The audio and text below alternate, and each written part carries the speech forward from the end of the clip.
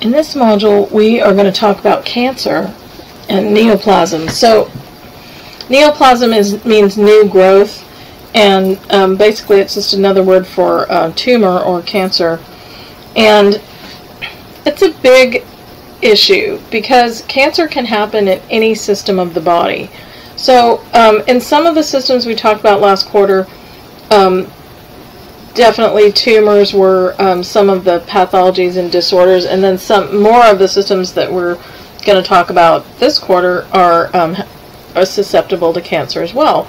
So, because cancer is widespread and lots of different causes, it takes a lot of different things to fight it.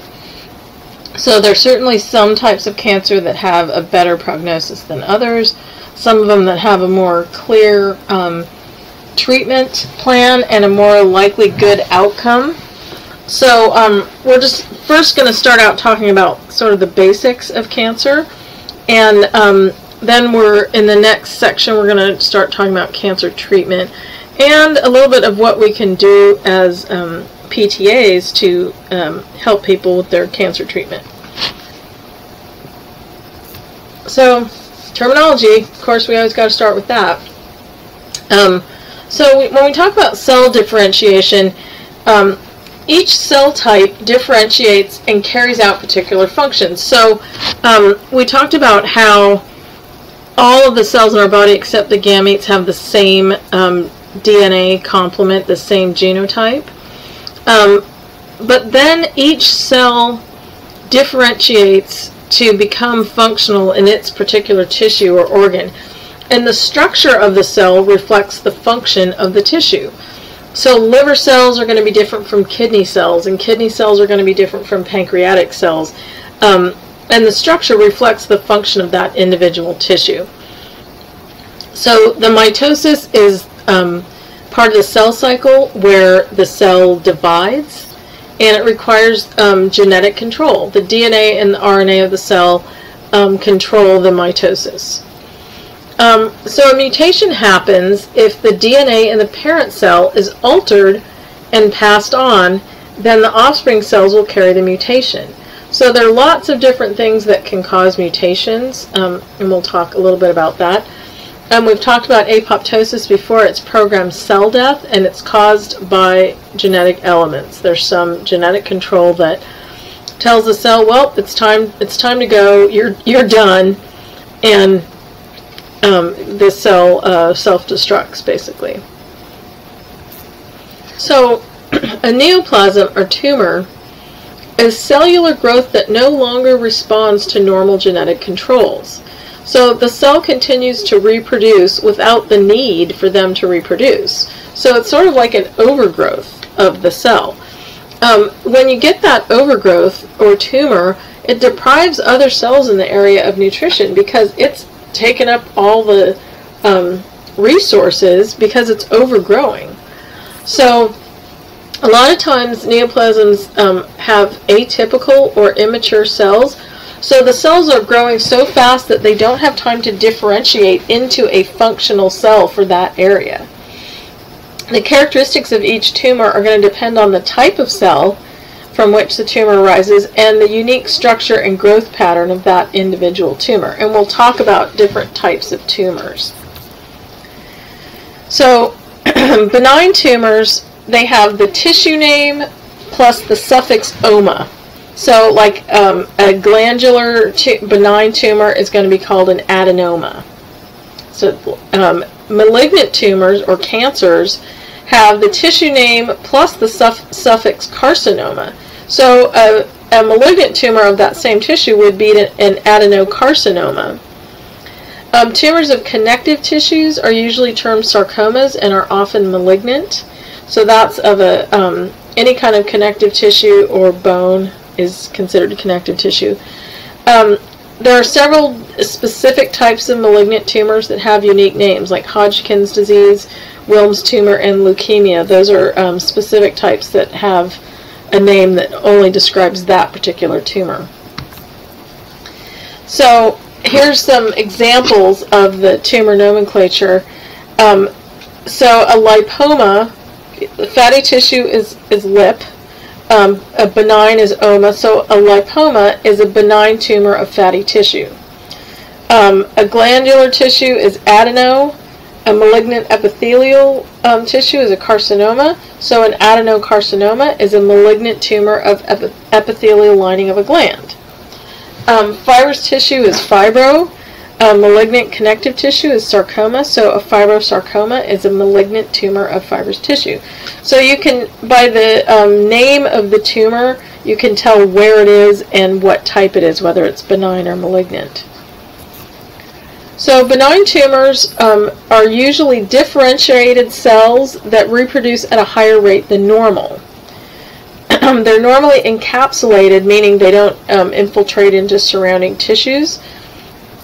And any tissue damage that they cause is a result of compression of adjacent structures.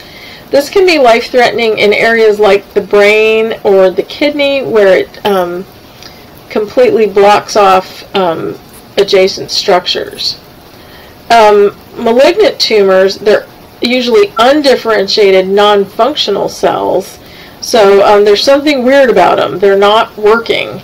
Um, they, they rapidly reproduce, reproduce. They have abnormal my, uh, meiotic figures, meaning they're reproducing before they're ready to reproduce. Every one of them is a mutation. Um, they infiltrate or spread into surrounding tissues so they're not encapsulated like a benign tumor. And they can spread to distant sites. And the spread to a distant site is called metastasis. So malignant tumors have the potential to get out of the area that they're in and spread around. So here's a little graphic from the book that shows the um, um, difference between a a benign tumor and a malignant tumor. So the cells in a benign tumor are relatively normal. They're not freaks like the ones in a malignant tumor. They're just growing faster than normal. And it's a slowly expanding encapsulated mass. The malignant tumor, it has a irregular shape and surface. The cells are abnormal, irregular size and shape. They're invading the surrounding tissue. They, there's necrosis of the surrounding tissue, so death of that tissue and um, there's also they also invade the surrounding blood vessels and so that's one way they can spread so um, in table 20.2 from page 550 of the book um, it basically com uh, compares the characteristics of benign tumors with regard to cells growth spreading and their effects so um, Benign tumors, like we said, they're similar similar to normal cells in that they're differentiated and they have fairly normal mitosis, except it's just at a faster rate. Malignant tumor cells are varied in size and shape and they often have large nuclei.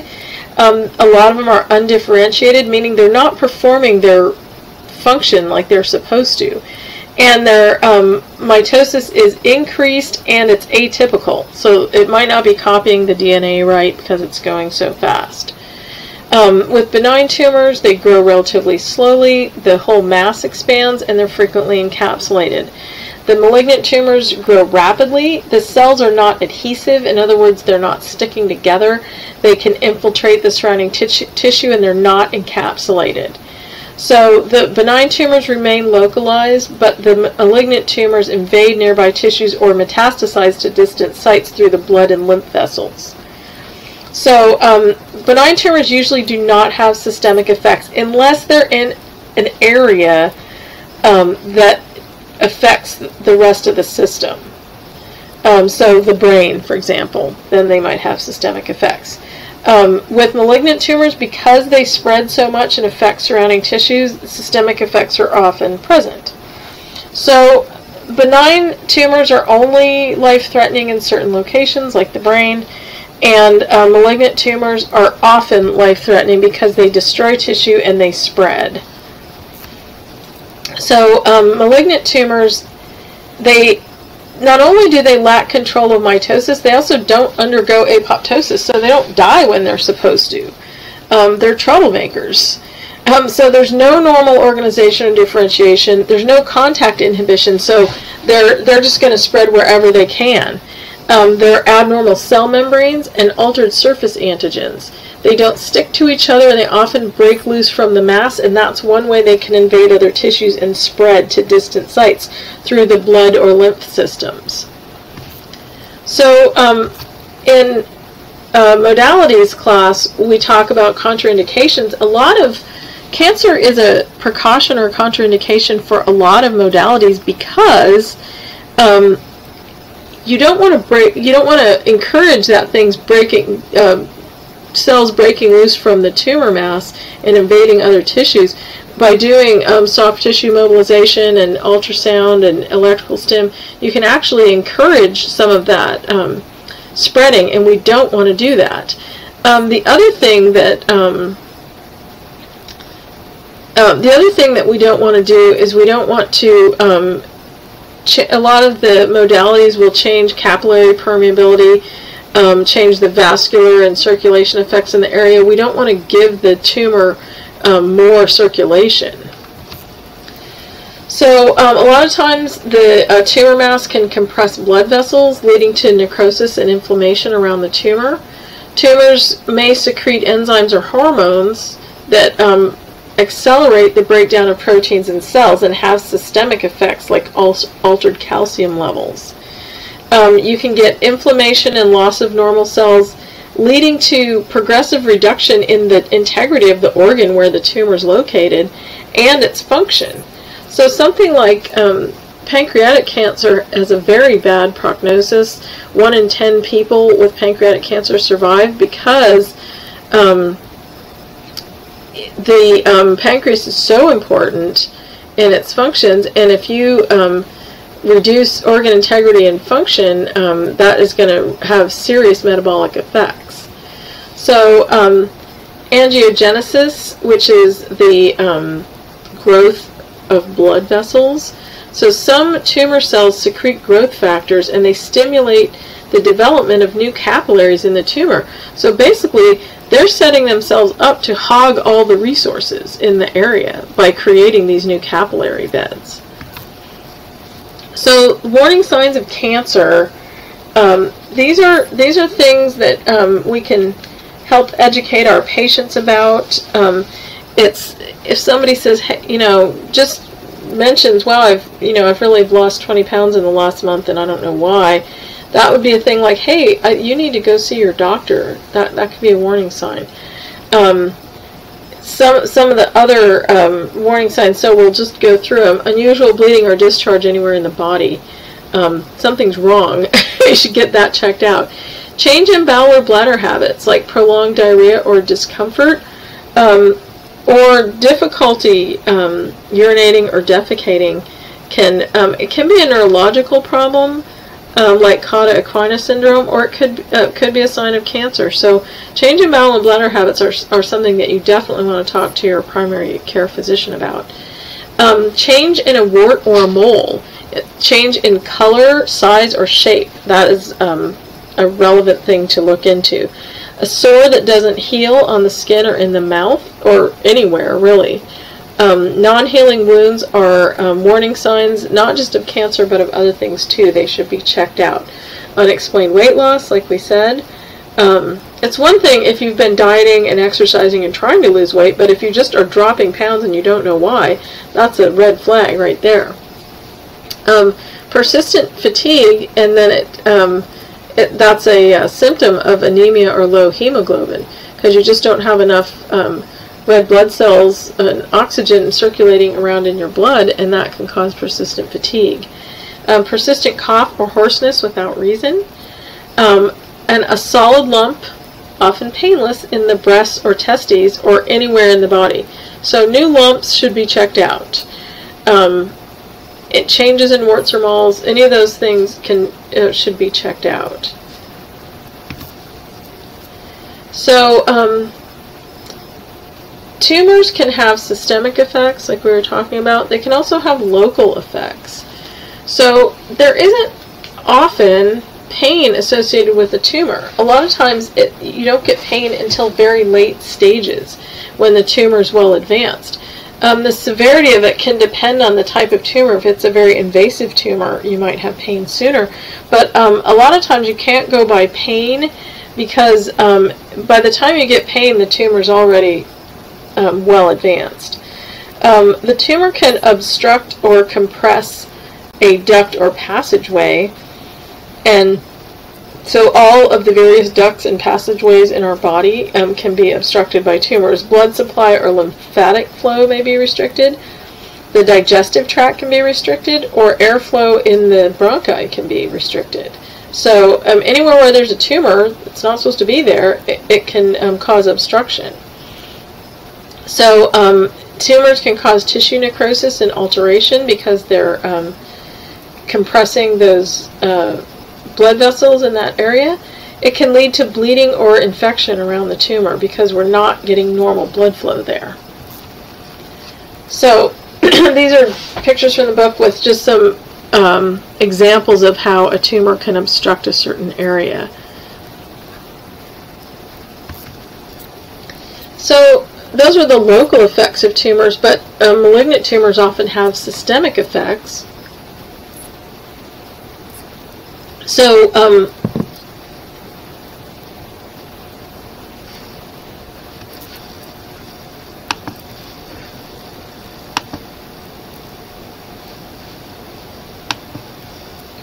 So um, malignant tumors can cause weight, lo um, weight loss and um, cachexia, which is severe tissue wasting.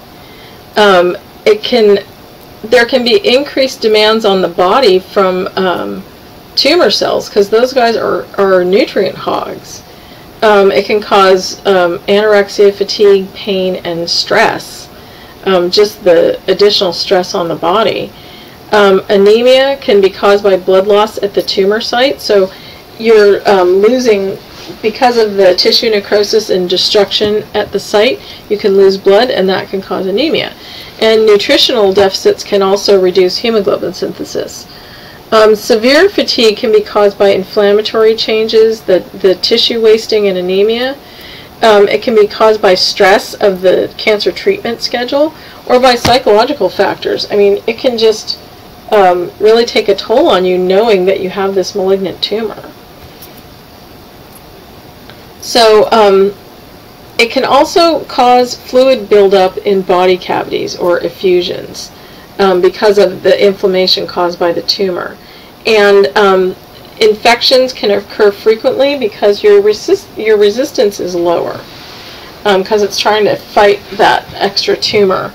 Um, tumor cells can erode the blood vessels, causing bleeding. That extra bleeding can cause anemia, like we said earlier. Um, the paraneoplastic syndrome is associated with certain tumor types where the tumor cells release substances that affect neurological function and can have hormonal effects. So the tumors actually start sending out chemical signals um, that are acting on other areas of the body as well. Um, that's the paraneoplastic syndrome. So for diagnostic tests, um, routine screening for early detection is really important because the earlier you detect it, the better. The more, the better chance you have of doing something about it if it's in the earlier stages. And then, um, so self-exams, breast and testicular and skin exams are important because early detection is, is um, the best way. And if you do it consistently, you'll know um, what's how your body is and what needs to be done. Um, there are blood tests that um, they'll do during treatment where they measure blood cell levels, and there are blood tests that can detect tumor markers, like the PSA test, which um, detects tumor markers for colon cancer. Um, ultrasound, MRI, CT scans, those are all done. Um, they use it to visualize changes in tissues or organs. Um, mammograms are important, um, getting regular mammograms for um, prevention, you know, to catch it early if necessary. Um, cytological tests require biopsy or cell sample. So histological and cytological exams determine the degree of differentiation in the tumor type. Um, sometimes um, if you have a tumor on the surface, of course, like a skin tumor, um, they can they can tell the tumor type from looking at it. But if you have an internal tumor, they have to do a biopsy to figure out what's going on. They can also test the cells um, to see what their um, what is promoting their growth, what makes them grow more or grow less. So there are some tumors that respond to certain hormones like estrogen, um, and so they can test their sensitivities when they do the cytological tests. And it's considered to be the most dependable confirmation of malignancy because they can really look at the cells under the microscope and see what's going on with them. So, um, malignant tumors, they spread either by invasion or metastasis. So invasion is a local spread where the um, tumor cells grow into adjacent tissues. So um, the example that they give in the book is the uterine carcinoma that invades the vagina, um, or tumors that invade surrounding lymph nodes. That's another one that's common. Um, when they spread by metastasis, they spread to different sites via the blood or lymph or other body fluids. So like a colon cancer spreading to the liver via the blood. So um, they, they classify cancer by stages um, so they can they can sort of come up with what how aggressive they need to be with treatment what your local outcome, what your likely outcome is going to be. They use staging to estimate your prognosis because they want to tell people um, how likely is it that you're going to recover from this, and and if you have cancer, you want to know. Um, so the most common system they used is the TMN system. So T is the size of the primary um, tumor. M is the spread or metastasis of the tumor, and N is the involvement of regional lymph nodes. So um, the uh, process, the carcinogenesis is like the creation of cancer. It's the process that, that normal cells um, go through to be transformed into cancer cells. And it um, varies a lot. Some of them are really slow, some of them are faster. Um, so in terms of the cause of disease, cancer is considered to be multifactorial, and because it cancer can be affected, if can affect a lot of different sites, there are a lot of different things that can cause it. So environmental effects can be part of the cause. Change in gene expression, so whatever genes are um, activated or deactivated, expressed or not expressed or infection in some cases, like cervical cancer and hepatic cancer, um, caused from um, human papillomavirus or um, hepatitis virus infections. Um, some cancers have well-established risk factors, like breast cancer is one of the ones that has well-established risk, risk factors. So the initiating factors of carcinogenesis um, there are pro-carcinogens which cause the first irreversible changes in cellular DNA. They don't create an active neoplasm, but they cause the change in the DNA that is eventually going to create the neoplasm. So it might be something like um, UV exposure to UV light, um, exposure to other types of radiation. Um, so what that does is it changes the cellular DNA to the point where it's initiating um, those irreversible changes. Um, exposure to promoters like hormones and environmental chemicals. Um, so the change in the DNA from the initiating factors there and the promoters cause further changes in the DNA.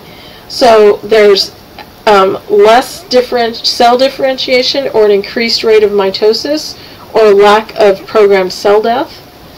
Um, dysplasia and anaplasia may be evident, so either no cell growth or weird cell growth, um, dysfunctional cell growth, um, and that process leads to tumor development. So risk factors, um, genetic factors, they've um, identified a lot of genes that they call oncogenes that regulate the growth of a tumor. Um, so the they've actually identified some genes that will predict whether or not a tumor will metastasize. Um, so that's pretty interesting that they can do that.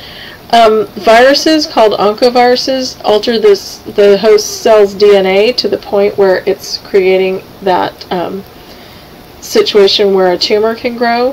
Um, UV rays, X-rays, and gamma rays, radioactive isotopes. Um, so, with all of those things, the risk of um, carcinogenesis is increased with higher cumulative dosage. So um, it's not just like one dosage and then it dissipates, it's cumulative over time. Chemicals, um, like organic solvents, asbestos, heavy metals, formaldehyde, and chemotherapy agents can be, um, exposure to those can be a risk factor. And um, biological factors like chronic irritation, inflammation, um, advancing age, unfortunately, predisposes you to cancer. Um, certain dietary um, things can predispose you to cancer and hormones.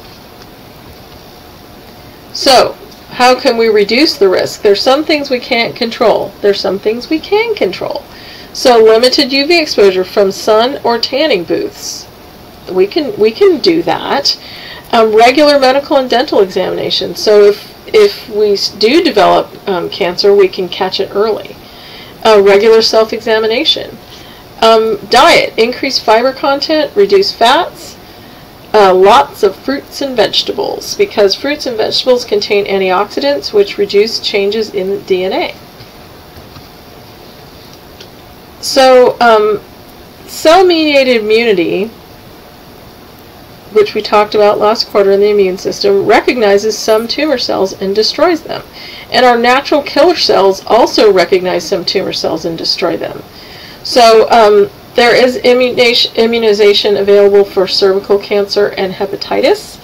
Um, the, they're recommended to reduce risk um, cancer risk from infection.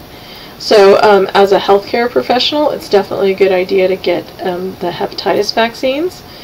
Um, cervical uh, HPV vaccines, they, they have to be taken when you're young. so when you're 11 or 12 years old, that's when you have to take them. It's too late for all of us, but um, the upcoming generations can benefit from that.